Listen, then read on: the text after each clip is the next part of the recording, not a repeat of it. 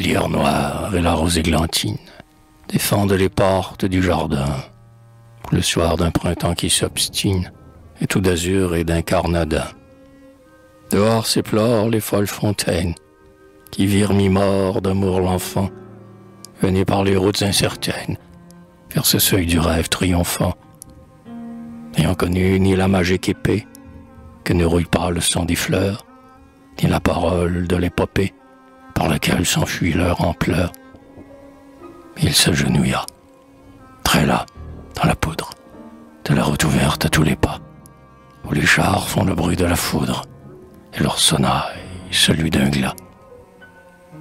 Quelle flûte se dire, dans les roses, la victoire du soir sur celui qui crut servir l'esprit et les choses du lendemain et de l'aujourd'hui?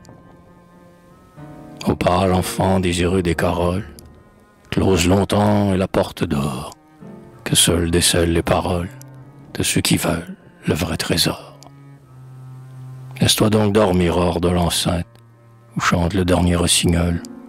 Sache croire que l'attente est sainte, et donne à tes seuls rêves leur vol.